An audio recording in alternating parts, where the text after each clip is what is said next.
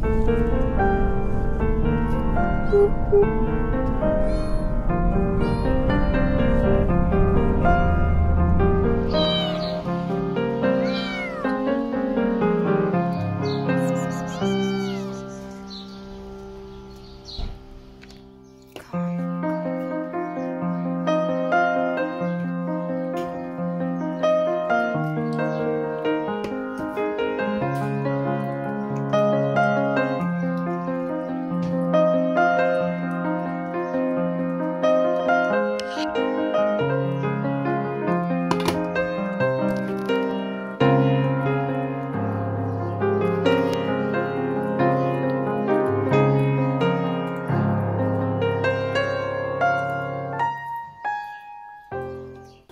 A few days ago, a friend asked me if I could take in my care a kitten who followed her on the street, mewing loudly and asking for help.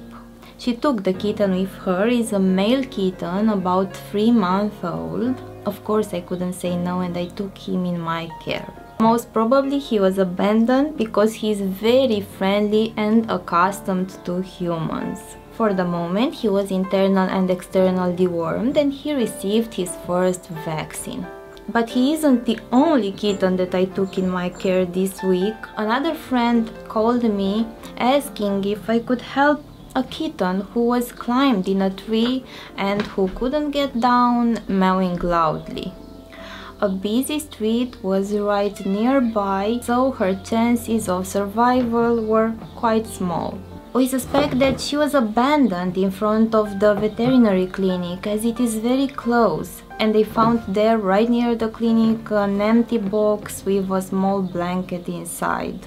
Of course I agreed to take her in my care also. As you can see she is another friendly kitten and accustomed with humans so most probably she was abandoned. She is also quite thin as I can feel her bones on her back.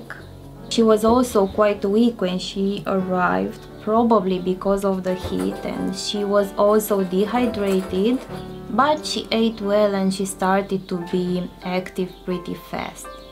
So in just a few days, two kittens needed my help and they will both stay in my care until they will find loving families to take them home.